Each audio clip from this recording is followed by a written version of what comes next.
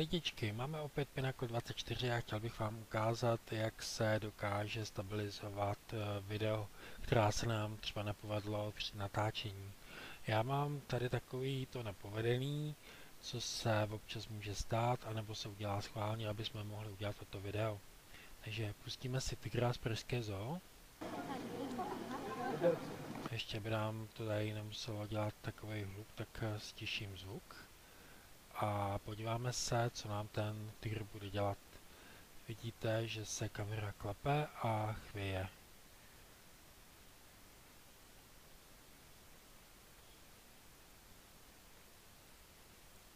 Celý se nám to klepe, chvěje. Stabilizátor prostě nefunguje. Občas tam je teda nějaká chyba na tom videu, že se to sekne, ale to nevadí, ale důležité je, že se to klepe a teď zkusíme udělat nějakou stabilizaci. Takže aby jsme udělali stabilizaci, tak si nahoře najdeme v této nabídce knihu na editor maska titulek, tak si zvolíme editor. Zde si najdeme volbu opravy a tady máme číslo 3 stabilizace. Eh, máme tady různé předvolby, ne moc, ale snad to tady trošku dokáže. Takže tady je standardní, extrémní, žádný zoom, žádné ohraničení.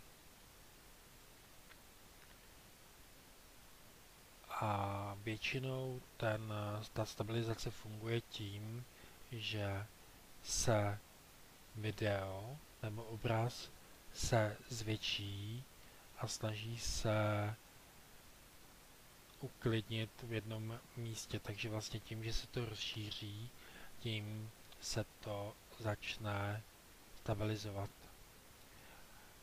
Takže máme tady nějaké volby, rámečky automatický, maximálně automatický.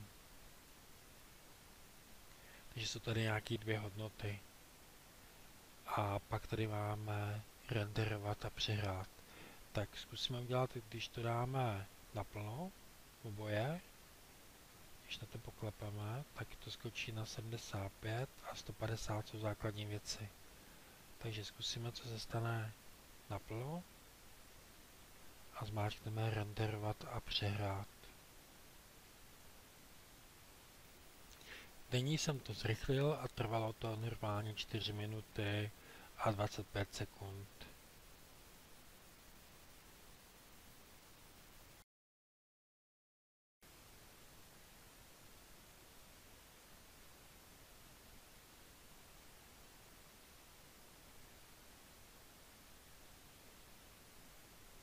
Tak nyní se nám to přepočítalo a hnedka se nám to pustilo.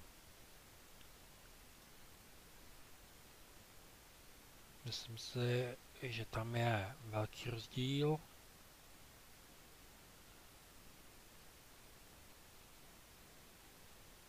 A tady je konec.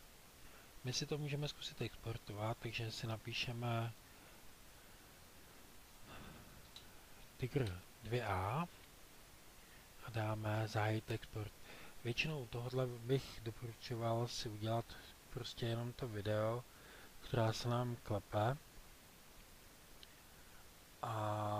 aby jsme nezatěžovali celý projekt pak následně při tomto přepočítání.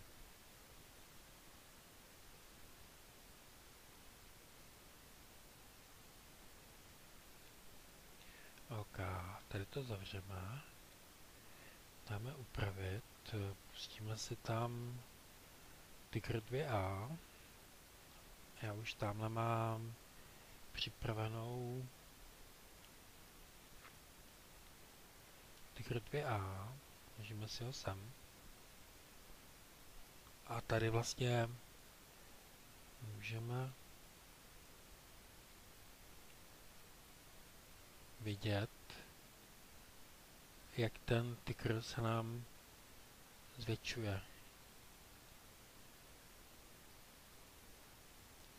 Už na začátku. Takže čím bude větší, tím se nám to bude více stabilizovat a mělo by to být klidnější. Ještě záleží, jaký máte okolí a takový.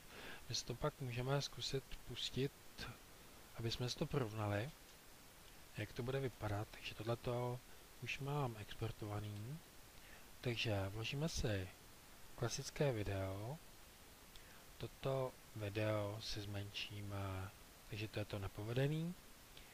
A pomocí vlastností si to jednak zmenšíme na 50% a posuneme si to doleva. To je tak, že napíšeme minus 25. Máme OK. Nyní si do spodní vrstvy si vložíme tohleto video, což vlastně vy si můžete několikrát zopakovat tu stabilizaci, dokud nejste třeba spokojený, nebo dokud si třeba část toho videa nedokážete použít do svého dalšího videa. Takže já dám toto a nastavíme si opět editor, nastavíme si velikost na 50 a posuneme si ho ne minus 25, ale 25 doprava. Nyní máme dvě videa vedle sebe a zkusíme si to rovnou exportovat, aby jsme nečekali, až se nám to při, připočítá. Takže dáme porovnání.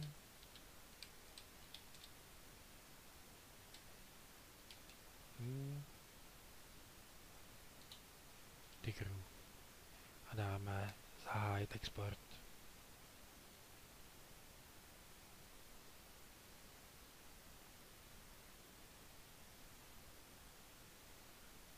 Takže můžete sledovat, že čím se nám to video jako uklidní, že už se tolik neklapá, tak uh, se nám ten tygr jakoby zvětší. Takže to je tím, že se ten obraz jakoby zazumuje a zvětší.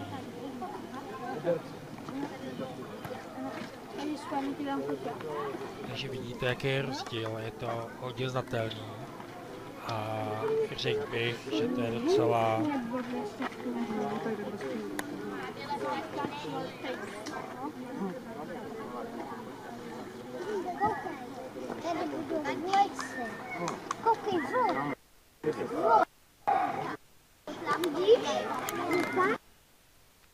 takže myslím si, že díky tomuto téhletej vychytávce si dokážeme, dokážu představit, že část toho tygra si dokážu vystřihnout a použít pro svůj další projekt.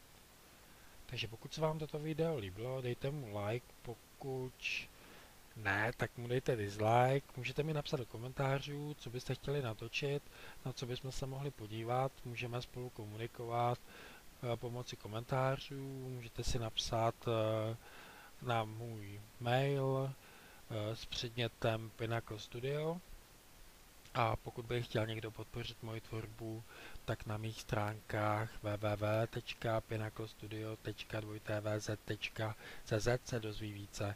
Všem děkuji za podporu a mějte se.